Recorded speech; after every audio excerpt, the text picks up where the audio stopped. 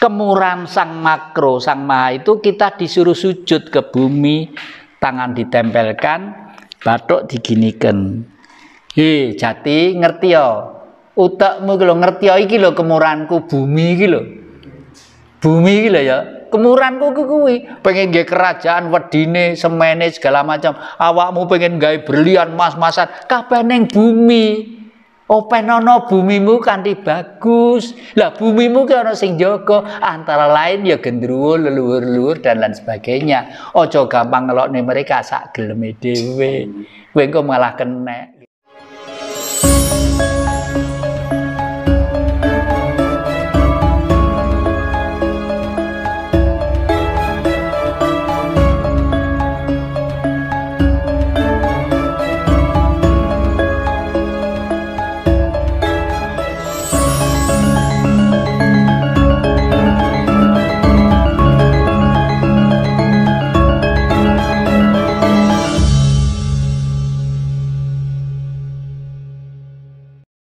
Saya kemarin baca bukunya Eyang, kebetulan buahnya juga yang menanyakan tentang 99% manusia di dunia itu gagal paham mengenai Tuhan. Di sana ada uh, Nusantara kita dulu terkenal dengan sebutan Jawa Dwipa. Nah, itu bagaimana ya menjelaskannya tentang Jawa Dwipa? Ya, Jawa itu nama ya nama manusia penghuninya Dwipa itu mas. Jadi kita itu sebenarnya kaya raya, kaya raya Pulau Jawa itu. Dan dan Jawa Dipa itu dulu pengaruhnya ya Indonesia ini kalau sekarang ya Nusantara itu bahkan sampai ke Indochina apa pengaruhnya itu. Dulu Mojopahit itu batasnya ke utara itu Sungai Huanghu. Huanghu dan ibu kota negara kita itu pernah di sana. Ya, namanya Kambaluk. Nah, makanya Jepang itu pinter samurai, judo, gelut-gelutan, bedil-bedilan karena dulu kostrat kita yang menjaga ibu kota itu di sana itu. Nah, dan sekarang yang mencintai peninggalan-peninggalan kultur bangsa kita justru di Jepang. Perahu Mojopahit, perahu layar Mojopahit itu masih dijaga dengan baik, dipelihara dengan baik sekali di Jepang. Kalau nggak salah Pak Jokowi pernah disuruh melihat ke sana jalan-jalan ke perahu Mojopahit lo coba perahu Mojopahit masih ada. Disimpan di Jepang dengan baik. Hebat panda itu loh ya, ya itulah jadi sementara bangsa kita masyarakat kita ditinggali apa ya batu atau apa gitu dipeceli dini dini gitu.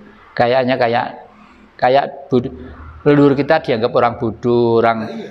Uh, uh, hari ini kan begitu ya. Iya sumber ilmu pengetahuan itu munculnya dari barat, mm -mm. hari terbitnya dari barat. Iya.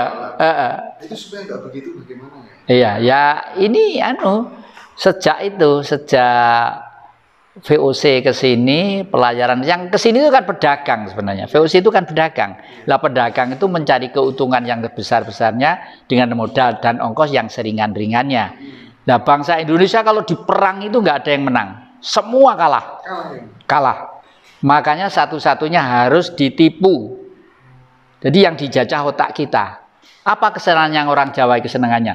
Orang Jawa itu lek dijak apa leluhur seneng dijak ngebong tupo seneng ngebong menyan seneng jak selamatan seneng wis ayo giringen rono pelan-pelan wong Jawa iki lek dijak goleki Allah Tuhan karo sing urip itu seneng kirimen kitab e sing akeh cetakan cetakan tapi dengan catatan pelintirono eh, dipelintiri sehingga kita itu kadang-kadang ada tokoh ceramah nggih buku niki bukune Pak Jati niki riyen niku ceblok kon dhuwur ngoten lho.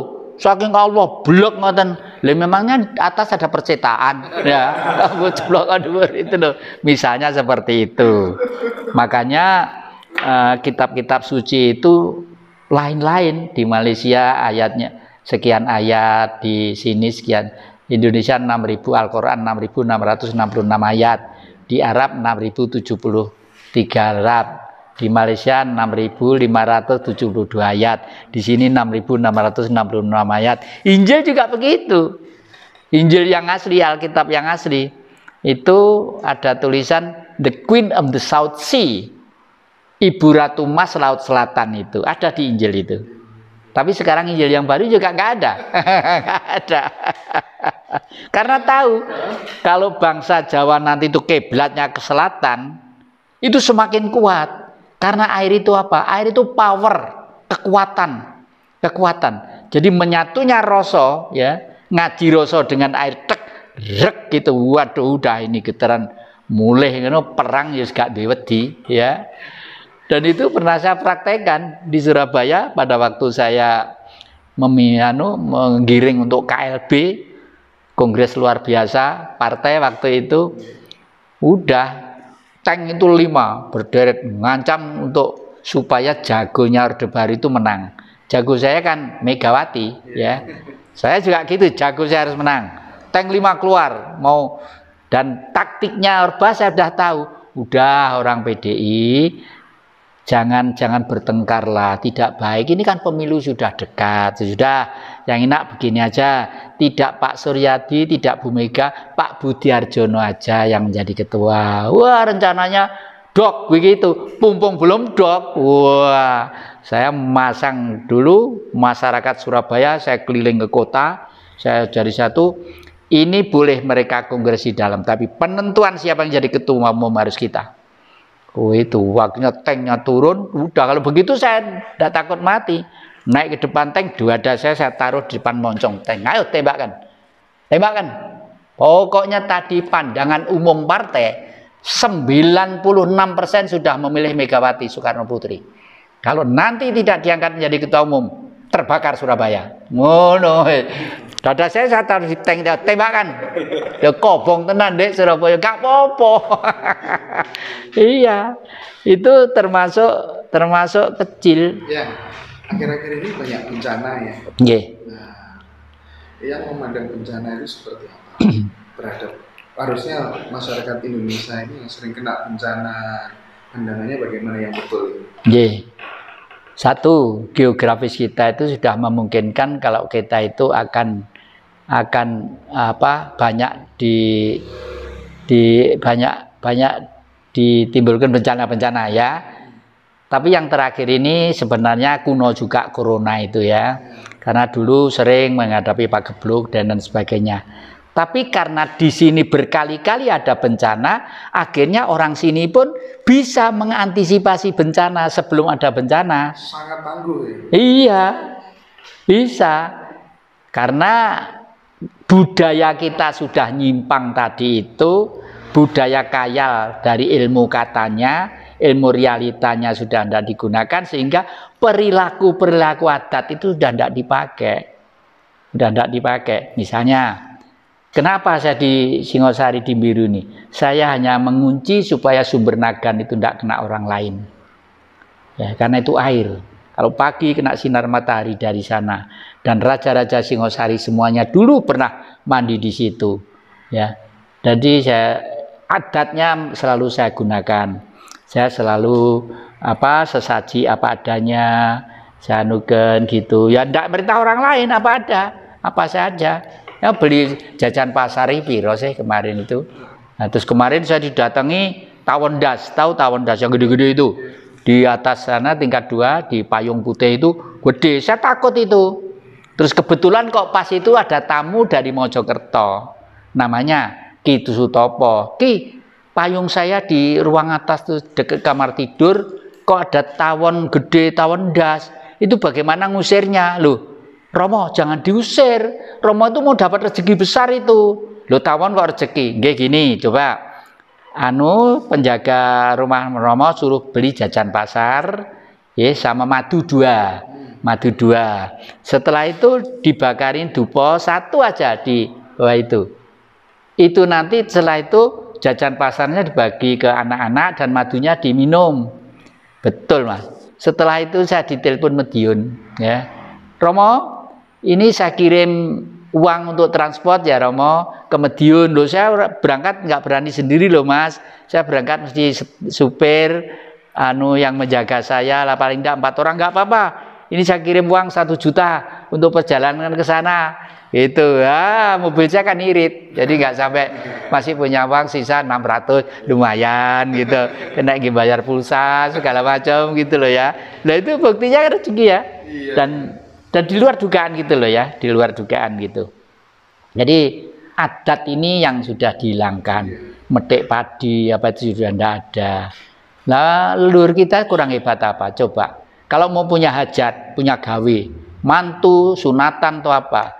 Sapu korek, sapu korek, sapu lidi ya yang sudah dipakai diwalik dikasih lombok satu di atas. Lo kok mendung bisa nyisih? Padahal nggak pakai umi-umi itu. Eh? Jadi alam pun sebenarnya bisa bicara. Tapi yang bisa menangkap siapa? Ngaji rasa itu loh mas. Batin itu loh yang ngaji rasa ya toh. Jangan dianggap alam itu bisu semua, nggak ngerti apa yang kita berbuat, ngerti. Bahkan dia alam merespon setiap kata-kata manusia ya. Iya. Intinya banyak penyanyi-penyanyi yang jadi korban lagunya sendiri ya. Mm -mm, mm -mm, betul, betul. Mm -mm, iya. Jadi itu sebenarnya alam itu sangat luar biasa. Makanya kita disuruh berpikir, berkata yang positif-positif terus gitu. Betul, ya. betul, itu mau ya kata yang benar pribadi benar nah, bergaul benar tadi itu ya cari gampang yang mendapatkan gelar Praba Raja Jaga Jawa. Ceritanya bagaimana? Ini karena itu yang saya katakan kayalan saya terlalu besar ya. Sistem politik di Indonesia itu sebenarnya sudah harus dirubah dengan sistem sesuai dengan uh, kondisi geografis budaya dan sebagainya. Lah oleh karena itu jauh-jauh tahun 2008 saya itu mengumpulkan raja-raja di Trowulan, Mojokerto ya. Waktu itu izin itu tidak keluar. Saya kalau sudah kepentingan negara izin tidak keluar, udah saya bobol aja. Wakilnya raja-raja diundang di sana kok kebetulan datang semua.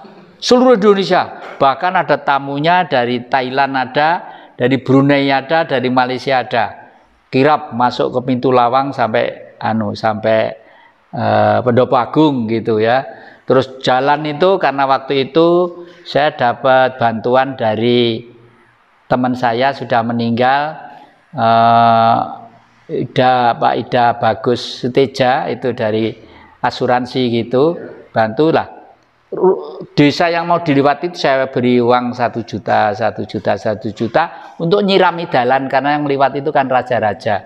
Saya masang janur kuning gitu. Ya udah, waduh, ruame mas, ruame di sana. Terus karena saya yang menerima, saya punya atau pakaian raja Terah Sultan Agung punya. Saya taruh di kuburan dulu belakang Pendopo Agung itu kan kuburan. Saya taruh di sana Begitu beliau datang, saya pakai pakaian ganti di kuburan, udah gitu. Begitu datang, lah itu pakaiannya di sana itu, nah, di pojok itu. itu, itu tahun 2008 itulah. Sejak itu dan terus saya rajut sampai sekarang.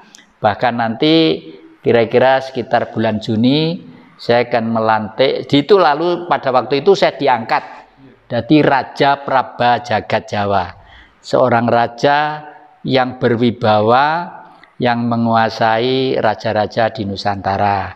Terus kebetulan saya diangkat oleh panjenengane mendiang Pakubono 12 katanya saya itu sebenarnya resi orang pendeta resi gitu loh katanya itu oleh karena itu saya diberi gelar Kanjeng Pang, Kanjeng Pangeran Kanjeng Pangeran Haryo Kusumo Yudo resi tapi kalau negara sudah dalam keadaan goncang dan kurang anu langsung tampil secara politik secara nasional. Lah beliau kebetulan uh, dulu dengan beliau itu mendirikan satu satu grup pergerakan ya dari Gus Dur ke Gus Dur Romo Manik Suseno lalu Ma'arif lalu Bu Penny dan sebagainya untuk mengkritik Orba pada waktu iya, itu.